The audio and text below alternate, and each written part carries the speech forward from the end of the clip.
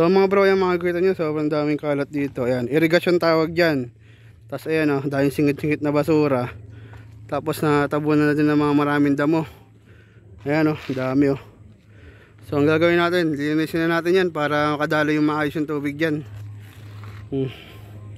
So tatawin ko lang mga kuya ko para masiman agad natin. Mga bro, ayan makikita nyo, andyan ang mga kuya ko. Sisiman na namin to para matapos, para malinis na natin to. So okay.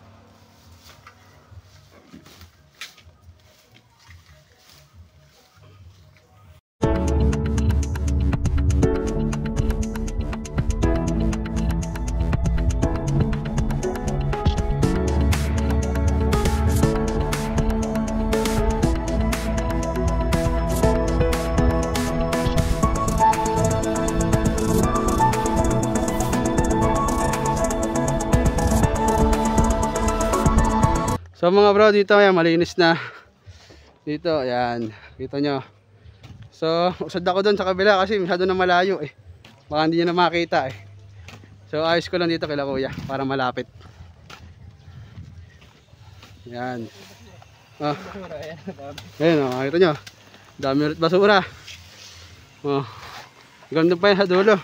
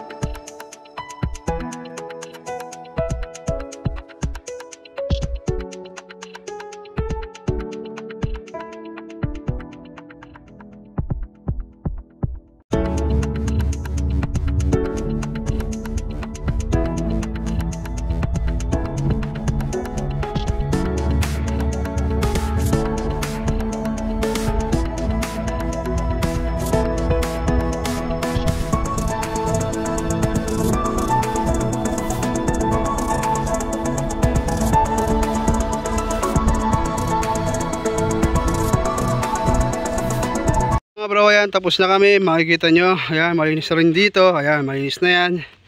Tapos ayan, oh, ganyan nakalinis yung kaninang kalam mo, ano, gubat. Ayan, ang ganda sa dulo. Hmm, ganda na. Kitang kita ng irigasyon. Tapos makakadaloy na yung tubig dyan. Pagka umulan, hindi na siya aapaw dyan. Ayan. Tapos ito, nakapaglagay na rin kami dito ng ano, karatula. Hindi lang gano'ng kalaki yan, pero syempre, Kapasalamat pa rin tayo kasi bigay lang din naman yan eh.